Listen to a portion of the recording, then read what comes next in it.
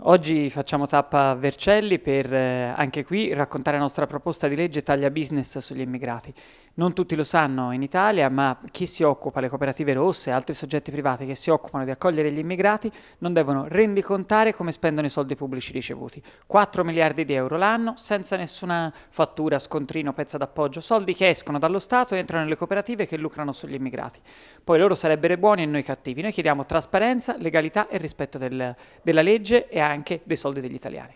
Nel dettaglio, eh, noi con questa proposta di legge prevediamo di inserire l'obbligo di rendecontare soldi pubblici ricevuti. C'è un business evidente dietro a tutto questo, siamo sicuri che se chi ci lucra sopra potrà luc- lucrarci meno o comunque dover dire come spende soldi pubblici, fermeremo anche l'invasione che c'è in Italia.